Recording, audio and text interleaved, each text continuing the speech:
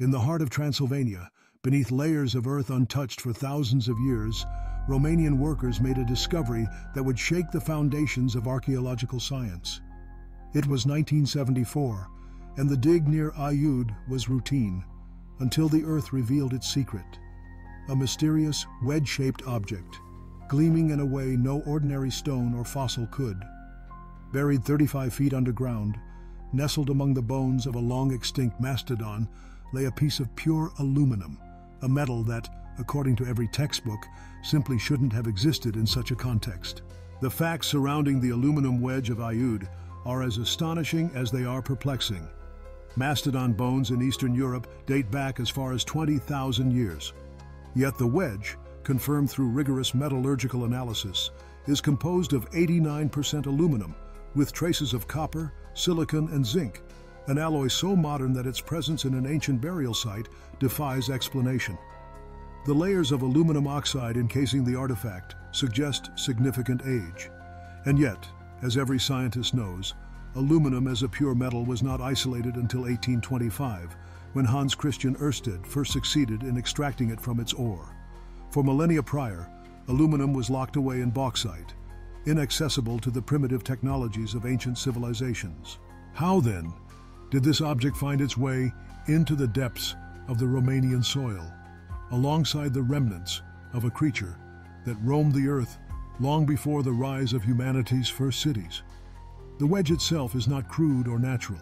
It bears unmistakable signs of machining, precisely cut angles, smooth surfaces, and a design that hints at purposeful manufacture.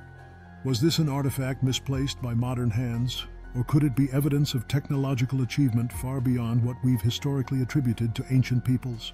The initial response from the scientific community was skepticism. Could the aluminum wedge have been a lost piece of machinery, somehow buried in the earth through a quirk of fate? Yet the context of its discovery, the company of mastodon bones, the depth at which it was found, makes such an explanation hard to accept.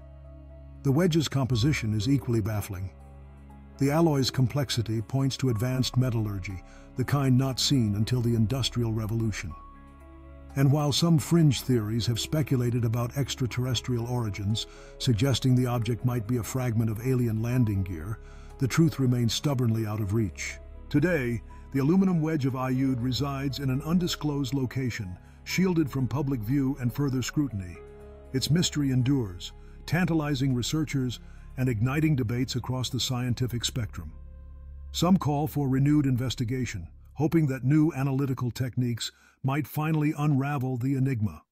Others caution against wild speculation, reminding us that every artifact deserves careful methodical study. As we peel back the layers of this unprecedented discovery, one thing becomes clear. History is more complex than we ever imagined. The aluminum wedge of Aiud stands as a silent challenge to our understanding, a beacon from a forgotten past, or perhaps a future we have yet to comprehend. In the search for ancient technological mysteries, this enigmatic object reminds us that not all progress is linear and not every secret stays buried.